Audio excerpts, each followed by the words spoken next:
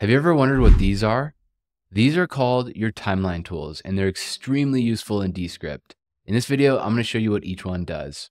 All five of these tools are found right here at the top right of your timeline. By default, you have the select tool selected. This is the first one that looks like a cursor. And if you've never even played with these before, this is what you've always used up until now. The select tool allows you to select clips anywhere on your timeline. Actually, let me click on this one and I can move it around so I can drag it left and right. I can drag on something here, move it left or right. I can grab the ends of clips and you see my mouse just turned into a bracket and I can drag things to extend it or drag to the right to, in this case, make it smaller. I can also move things between, for example, I can take this clip and I can move it into the script layer if I move it down where it turns purple like that, then it moves it into the script layer. And vice versa, I can drag things off of the script and put it up as a supporting layer. The select tool, if you don't want to click on it, you can press A on your keyboard and that will pull up the select tool. The one next to it is called the blade tool. Hotkey is B, so you can click on it or click B and that'll move you into the blade tool. Now, when I'm down on my timeline, you can see my cursor turn into this razor blade looking thing. And it's red when I'm not hovering over a clip. When I am hovering over a clip, it turns black. And then I have those little V shaped things above and below it.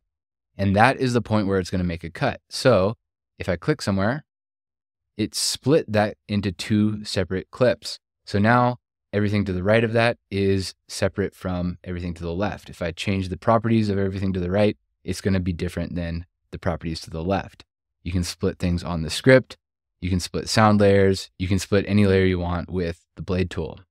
The next one is the range tool. The range tool is hotkey R, or you can click on this. And this allows you to select a specific range of a clip. So if I come down to my script, I can select by clicking and dragging. And you can see as I drag, it highlights it in blue and a little number appears in the top left corner. Right now, 1.432. That's how long in seconds this particular range is. And with it selected, I can go into the layer properties on the right side.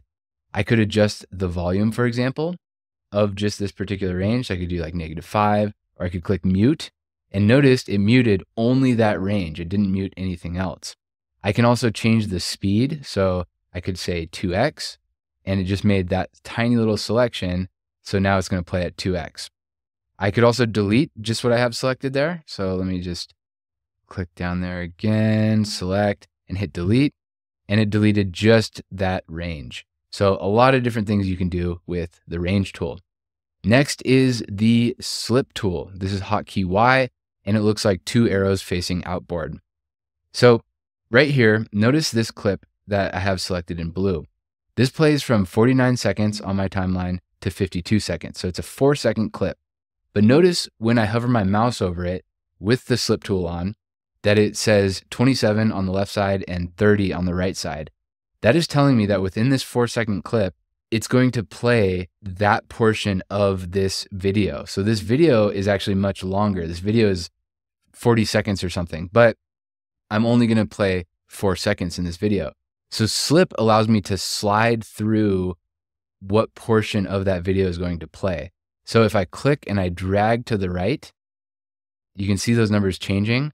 So now it goes from 21 to 24. That means that that clip is going to play the section of this video from 21 seconds to 24 seconds without changing the length of that clip. So I can click and slide through, I can slide left, I can slide right, and it, it changes what plays without changing the length of that clip. Our last tool in the timeline tools arsenal is the hand tool. And you can come into the hand tool with the hotkey H. And the hand tool is purely navigational. It doesn't let you click on or change any of the layers. It only lets you click, drag, and slide left and right horizontally on your timeline. So it's purely navigational. So again, for review, the hotkeys are A for select tool, B for blade, R is range, Y for slip, and H for the hand tool.